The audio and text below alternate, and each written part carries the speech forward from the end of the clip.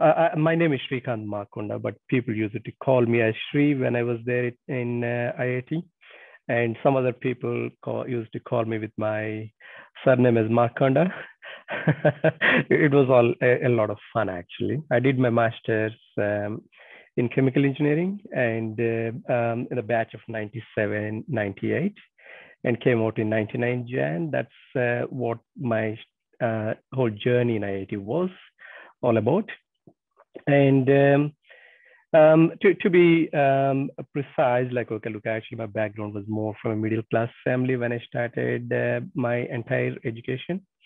And especially from a teaching background family, my dad uh, worked as a teacher. He's a retired teacher, as well as my uncles. So we have a lot of lot of attachment with educational institutions and um, teaching side of the world. That's why actually when I love to be still associated with um, teaching and helping the staff in various universities as well, even currently. So I, uh, in, in uh, within IIT, I stayed in Brahmaputra Hostel and um, I loved the life in there. It's fantastic actually, especially playing cricket outside the hostels that on one side apart from all the studies. And inside actually we used to do all this table tennis as well as caroms and a lot of fun with friends. It's fantastic life, can't complain. And it's a great experience. And in terms of, um, you call it as from the point of um, combination of developing the skills not only from academics point of view, but also like okay, understanding and working or in a way like okay, look actually as a group with various other students and staff. That itself like okay, it's a great journey because um, sitting, getting a chance to sit and work in, in between a lot of good intellectuals is not a small thing. It's a great thing. That's what I have to say. Thanks to IIT for giving me that opportunity. And uh, on fun side, it was even fantastic, like um, going to these OATs, like open air theaters, watching the movies on one side, and uh, and uh, looking at the nature in the uh, uh, side of the aspect of IIT, like um, sit there and have a good relaxation by having a, a good uh, um, a break uh, in between the classes and then uh, looking into the deers and it's a fantastic world actually. I think so.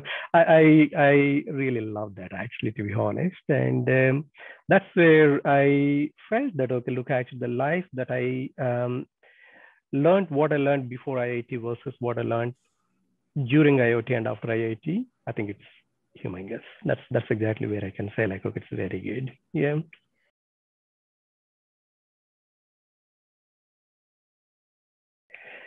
So after IIT, actually, I think see, um, I think it was a very good learning and in IIT. And what it taught me was um, how to see the world in a different way, rather than trying to see like only from the academics way.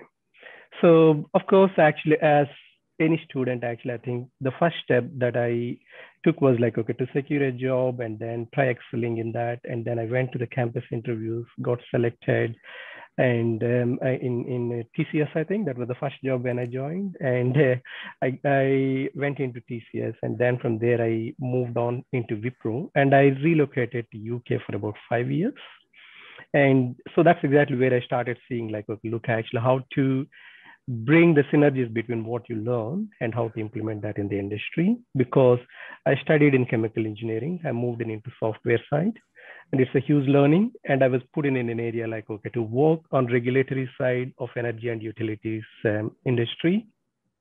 So i started contributing a lot actually in that space in europe for about five years. And it was it was a great journey in europe. And there um, a lot of learning from the point like okay not only like how to apply the knowledge that we have acquired but also like okay look actually how to do the business in an environment where you need to show excellence in every aspect, not just from the uh, subject point of view. That's exactly where my first five years went through like, okay, look, actually a lot of learning and implementation of my ideas. And after that, I came back to uh, India and um, I started Verizon in uh, Hyderabad. Um, Verizon was there before that actually in Chennai and I started in uh, Hyderabad and I contributed a lot actually for that company in telco by running their entire metrics and analytics uh, practice. And I used to travel a lot between US and uh, India for that purpose. And it was a lot to work with telco industry, telecommunications, and bringing the first uh, set of initiatives in technology innovation in a company like Verizon was a very good experience. And after Verizon, actually, Infosys asked me to start their practice in advanced analytics and big data in Australia. That's where I came here to Australia. And I came here around 2007, 2008, around that time. And since then, I'm here. And I worked with them for about five, six years. And then I was headhunted by another company as a CTO, and I worked there as a CTO in um, building innovative products in big data space and machine learning and artificial intelligence.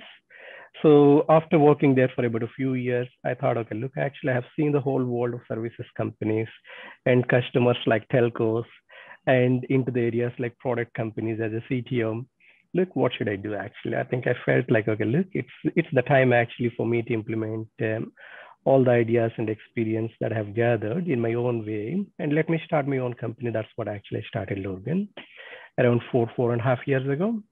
And um, that, that's where exactly the journey has started. And um, we built a new product called Enigma. That's what you can see on the screen, which is all about the behavior of any kind of a data, whatever is happening in the world. That's exactly what we took as a starting point in a way that, okay, look, actually we can identify how people are thinking, how people are acting, how the data is saying, everything we blended into a platform with the help of Google.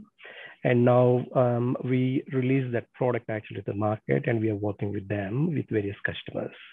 That's the journey where we are at at this point. In addition to that, I also uh, went into this uh, entrepreneurship and started a couple of other companies. One of the companies called Electrogenics, which is a complete transformation of how the radiation industry is working today to treat the patients of cancer. So the problem is like, okay, in radiation industry, if you really look at, um, people either die because of radiation that is given to the cancer patients because of excess radiation or underdosing kills people because of um, not enough radiation was given. So it's a challenge. So actually, we are now bringing a technology with the help of one of the universities in Australia. They did a research in the last 10 years with uh, over 30 PhDs.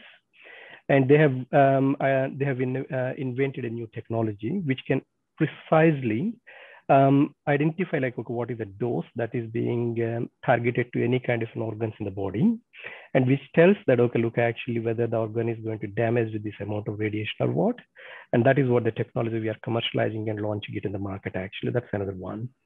So uh, like that a couple of other organizations but that's in summary like okay where i am at this point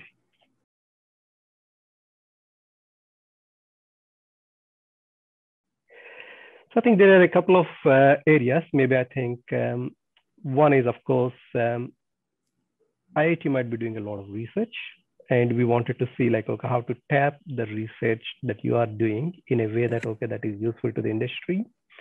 And at the same time, we are doing a lot of research on the industry side. When it, especially when it comes to the artificial intelligence and machine learning, where I'm working with a few universities even in Australia, the biggest gap is the industry is running too fast when compared with academics in the research in artificial intelligence side, be it any of the top companies. So they are trying to say like, okay, look, actually we are faster than the actual research that is coming from the institutes, and they are trying to bring that actually. So there is a huge gap in entire machine learning side, artificial intelligence side of what institutes are offering versus what the companies are adopting. So if we can fill that gap, that would be really good. Means what is that industry is looking for, and what is the research that okay the uh, institutes are doing. That that entire combination is very exactly. I think it is very useful. Whether you wanted to get in touch with me or I wanted to get in touch with you, from IIT point of view, because we are doing a lot of things which might be very good, whereas you are doing a lot of things which might be very good to the industry. So is there any synergy that we can bring together so that either we can commercialize something which is very useful from your side or the other way is exactly where I think which is very useful. And on top of that, I'm always um, happy for anyone to approach me because I'm I'm nothing but another senior to the people over there actually, especially to the students, so they can always contact me, and I'm happy to mentor them if anyone is interested in their career path, and I'm happy to support in any way actually whatever is required for the institute because it has given me a lot, and um, I'm very happy to return that.